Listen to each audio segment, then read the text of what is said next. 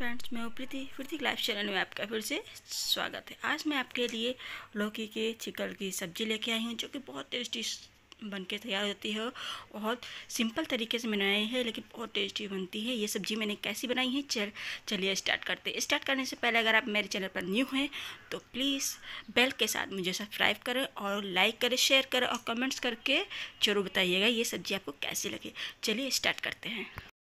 ये मैंने लौकी के चिकन ले लिए हैं, जो थोड़ा सा मोटा मैंने काटा है, ताकि अच्छी सब्ज़ी बनी और इसे हम लोग पतले पतले छीलते हैं, लेकिन सब्ज़ी बनाने के लिए हम मोटा मोटा इसे छीलेंगे। काट लिया है इसे मैंने काट लिया है अच्छे से। और उसके बाद हम इसमें फ्राई पैन चढ़ा दिए इसमें मस्टर्ड ऑयल डालेंगे आप।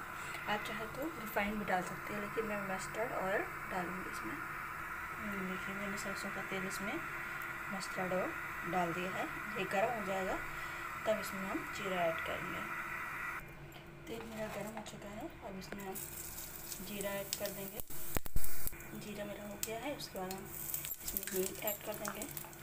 और कुछ, मैंने जो लहसुन की सल कलियाँ छील रखी हैं, उसे भी ऐड कर देंगे।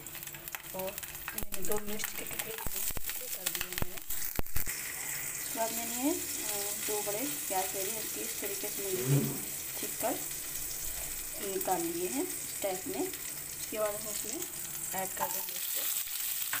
और इसको हल्के से हम सुनहरा ज़्यादा नहीं भूनेंगे हल्का सुनहरा होने तक भूनेंगे हो गया है।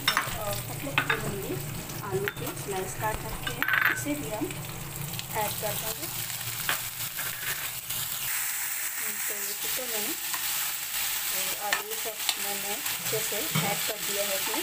बहुत टेस्टी सब्ज़ी बन के तैयार होती है। अगर कोई लोग लौकी नहीं खाए, लेकिन लौकी की सब्ज़ी ज़रूर खाएगा और आपकी ये बहुत डिमांड करेगा।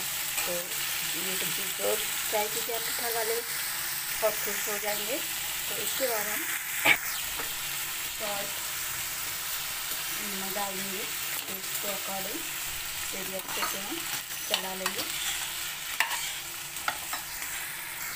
इसके बाद हम आधा चम्मच गरम मसाला ऐड करेंगे। हल्दी अगर आप ऐड करना चाहें तो करिए। और मैं इसमें ये कर रही हूँ क्योंकि बिल्कुल सिंपल सी सब्ज़ी बना कर रही हूँ ये की सब्ज़ी।